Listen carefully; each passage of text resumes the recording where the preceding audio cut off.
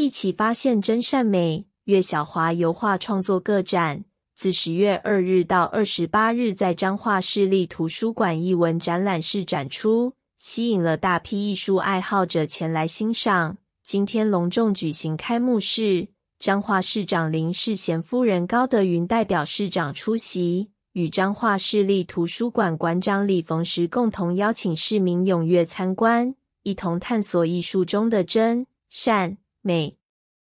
那我的用彩用色会比较缤纷鲜丽，比较就是反映我们的人生不一定都一都是顺遂的，好，会人生呢有时候就像爬山一样哈，有高低起伏，有挫折，有困难，还有一些生活上的一些无奈。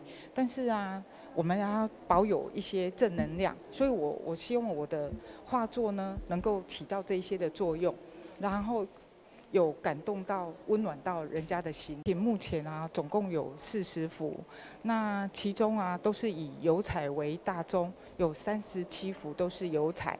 那因为疫情那一段期间哈，就不方便去上课，所以变成在自己还有跟林世辉老师习的水彩，所以变成在呃疫情期间就变成在。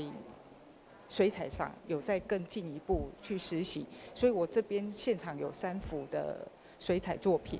展期是从十月二号开始到十月二十八号为止。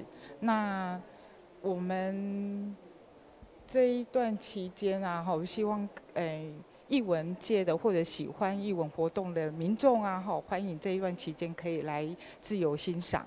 呃，如果说有遇到我不在的时候啊，哈，我那个海报那边啊，有我的那个呃 U R Q Q R code 哈，可以把它那个截录下来哈，啊，可以跟我联系。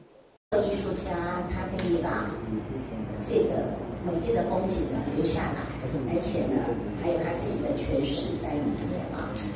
那我也就是代表市长嘛，当然也就是呃祝福在我们呃支持叶老师的欣赏叶老师的话的每一个人，呃可以给予更多的支持。还有我们。老师啊，一起发现真善美，一赞，二耶，三 OK，是最美的真善美。彰化人彰化市记者林明佑采访报道。